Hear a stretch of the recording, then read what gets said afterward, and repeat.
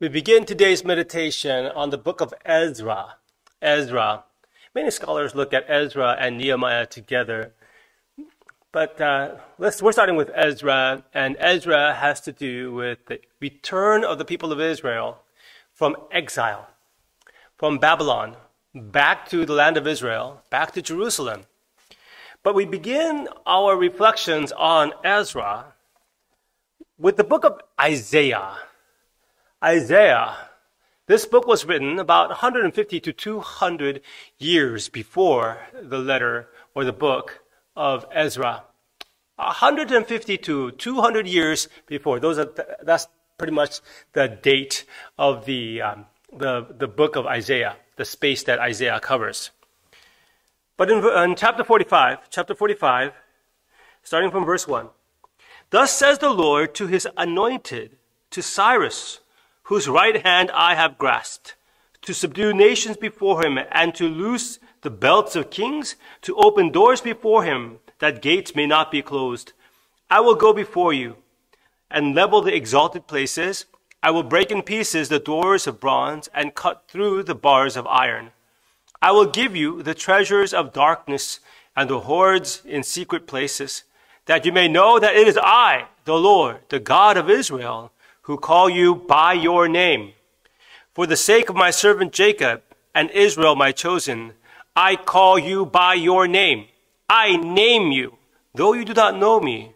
I am the Lord, and there is no other. Besides me, there is no God. I equip you, though you do not know me, that the people may know from the rising of the sun and from the west that there is none besides me. I am the Lord, and there is no other. Majestic prophecy from the book of Isaiah naming King Cyrus. A hundred and fifty to two hundred years before the book of Ezra, which begins. Chapter 1, verse 1. In the first year of King Cyrus of Persia, that the word of the Lord by the mouth of Jeremiah might be fulfilled. The Lord stirred up the spirit of Cyrus, king of Persia, so that he made a proclamation throughout all his kingdom, and also put it in writing.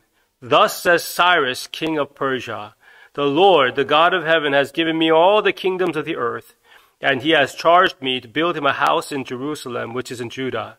Whoever among you of all his people may his God be with him, and let him go up to Jerusalem, which is in Judah, and rebuild the house of the Lord, the God of Israel. He is the God who is in Jerusalem.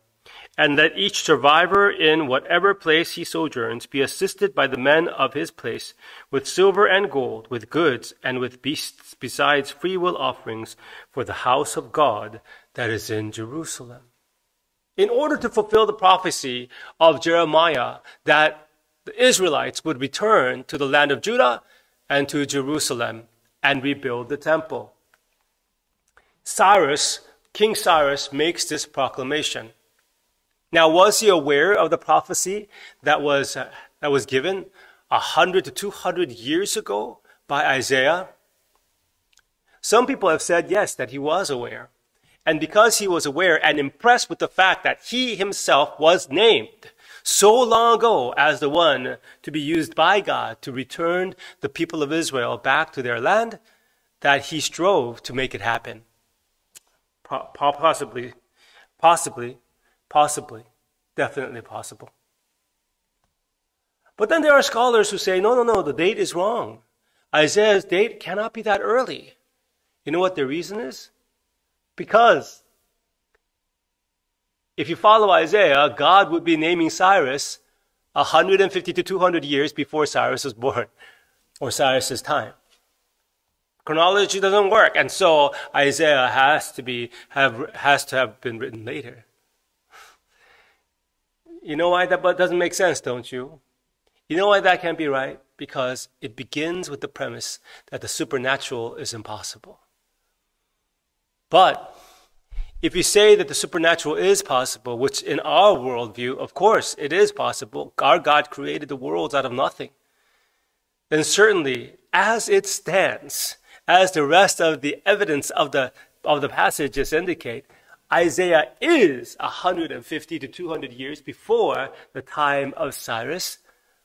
Then clearly God, in his sovereignty, named Cyrus, and his, in his providence, brought the prophecies of Isaiah and Jeremiah to fulfillment, at least in part, in returning the people, his people, back to Jerusalem.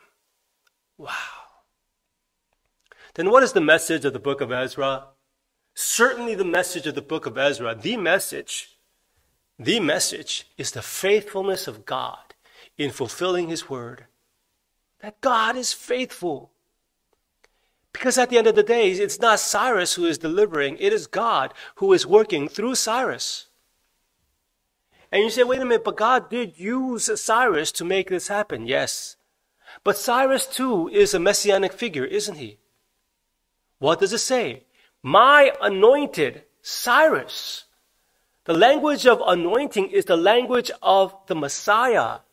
That's what Messiah means. That's what Christ means. The anointed one. So King Cyrus is a shadow of the Messiah that is to come. And the Messiah that is to come, for us, the Messiah that has come, King Jesus, is the very personification, is the very providence, the sovereign providence, the providing, promise fulfilling presence of God in human form. That's who Jesus is. And he was that at the time of Ezra. He was that at the time of Isaiah. He is that in our times and in our struggles too. Even though we may lose sight of his faithfulness, passages like this remind us his past faithfulness reminds us of his present continued faithfulness in our lives as well. In your struggle, please remember, we were designed to struggle. This life is called a battle, and it's not a called a battle for nothing. It is meant for us to grow through the struggles, go, grow through the tensions, grow through the misunderstandings, and grow through the, all the attacks of the enemy. We are not ignorant of his ways. So, loved one, God is faithful in the midst of all of that to even use the methods of the enemy for his glory and for our good. As you look at Ezra, you will find that that's exactly what he did. That he, he refined the people of Israel in exile so that when they came back, there was no more idolatry.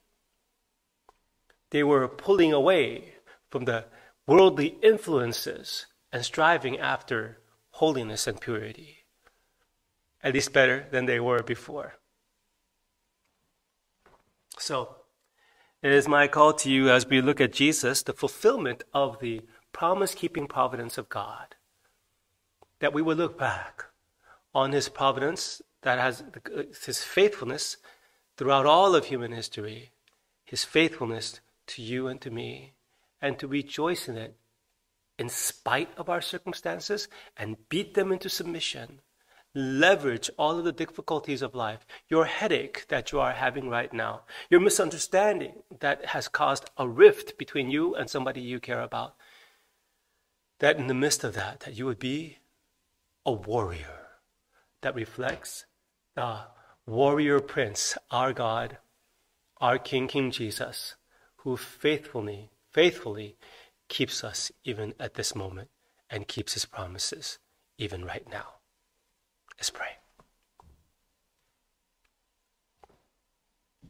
King Jesus, thank you for being everything that Cyrus had been called to be, that Cyrus prefigured.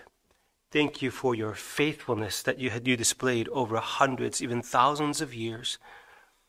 The faithfulness that brought us to you, that drew, drew us to you.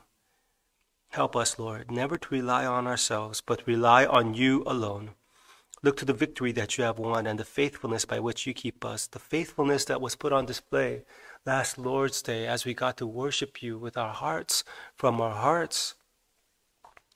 And so, Lord, we pray that we would feed on your faithfulness and delight in you this day. Jesus, in your beautiful name we pray. Amen.